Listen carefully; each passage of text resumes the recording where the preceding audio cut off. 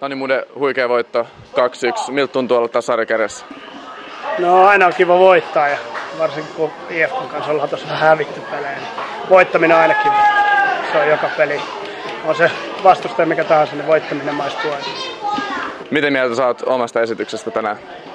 No alku oli aika vaikea, pallot pomppia.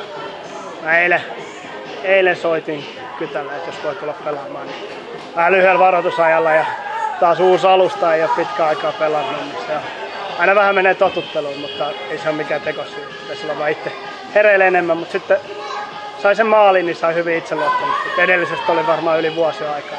Se teki hyvää ja sitten se olikin helpompaa. Oliko meillä jonkunlainen henkinen yliote MPC, kun voitettiin ne jo kerran? No mä, en, mä en tiedä, kun mä en ole ollut se edellisessä pelissä, mutta tota, ehkä me siinä ekalla puolella maltettiin vähän enemmän, että vaikka ne sai painetta, niin me ei hätäilty. Ja sitten kun me saatiin paikat, niin me käytettiin ne aika tehokkaasti, niin sitten ehkä, ehkä me saatiin se, niin kuin se eka puoli aika sillä, mutta takapuoli ja alkuun, niin kyllä ne tuli lujaa ja ei me oltu ihan valmiita. Onneksi että saatiin kasattua rivit siinä pikkuhiljaa. Onko pääpeli yksi meidän vahvuuksista ollut tänä kaudella? Ainakin niissä matseissa, missä sä oot ollut. Onko pääpeli ollut yksi isommista tekijöistä?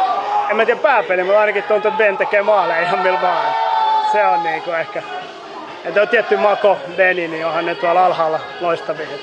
Tänään nyt tuli yksi pitkä heitto, tai vai oliko se kulma, niin se olisi ehkä pitänyt voittaa se pallo boksissa, mutta niitä kyllä tänään tuli tosi paljon.